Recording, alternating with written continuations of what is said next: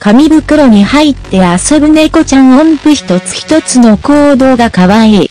小。マクマルナルドの紙袋に入ってる猫ちゃん紙袋で遊んでいます音符猫の行動って一つ一つが面白いですよね。紙袋に入った猫ちゃんの行動、めちゃくちゃ可愛いです。紙袋に猫ちゃんを入れたくなっちゃいます。小。皆さんも知っているかと思いますが、猫は狭いところが好きですよね。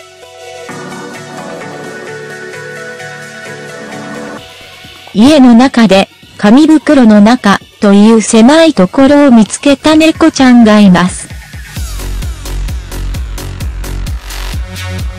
よく見てください。尻尾が出ていますね。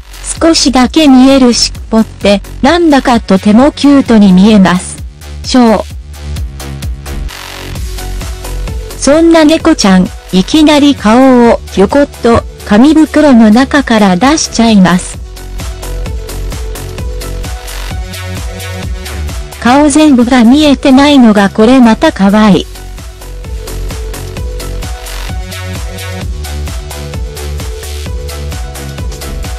音がして紙袋の外の様子が気になったんでしょうか。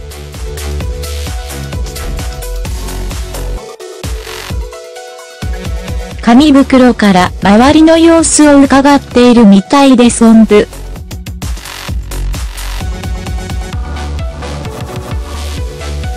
まるでスパイカのような目つき、ショー。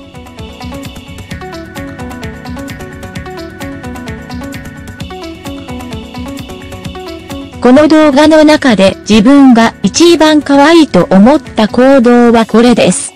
矢印。一瞬顔を出して、またすぐに紙袋に戻る。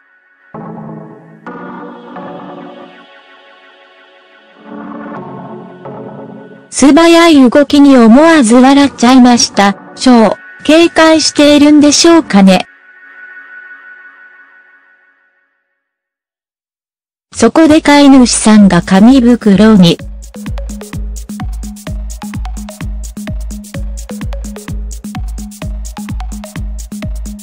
おもちゃを転がして当てる。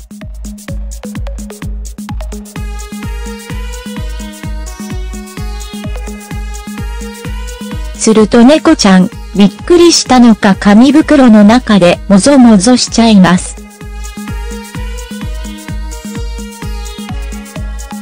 何か当たったのかと察知して顔を出して行してます。しょう。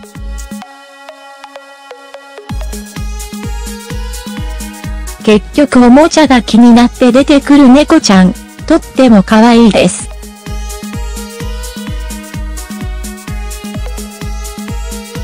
面白い行動、ぜひ見てくださいね音符。